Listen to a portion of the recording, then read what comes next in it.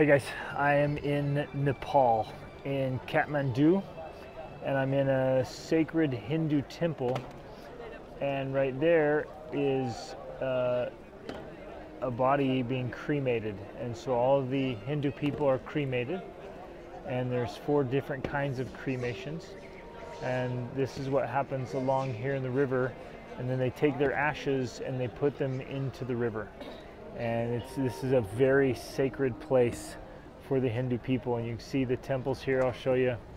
And they go upstream and up up above the bridge you see over there. They have more cremation for royalty and for dignitaries.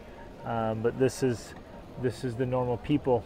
And then and as they're mourning and even down here the poor people get burned in a in a you see the tower back there? That's where the poor people get burned. It's a lot less. You also see down here, right here, down here below me, they're shaving his head, and so the son of the person who has passed away then shaves their head and goes into mourning for 13 days. Where they're not allowed to, um, they're not allowed to touch other, touch anybody. They have to eat uh, only lunches and certain kinds of food.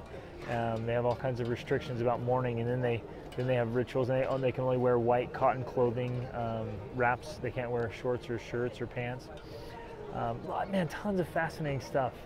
It was it was incredible, um, and and they do it uh, because they believe in reincarnation. They believe in returning their body and their to the elements, and they do it um, as kind of a purification and they said that the only the ones who are not do not need to be cremated who get buried in the, in the temple over there um, are children under the age of five are pure. They don't need to be cremated they get buried. And then they're holy men. Uh, sadhu i think is what they say.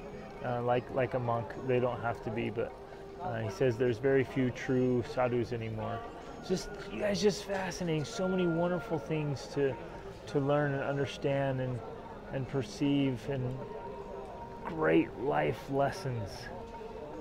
Great life lessons. Such an incredible experience to be here in Nepal and, and man, take take opportunities to learn, learn about other religions and people. And there's a young man here, a college student, who's just sharing all this information about and teaching us. And wow, wow, this is awesome.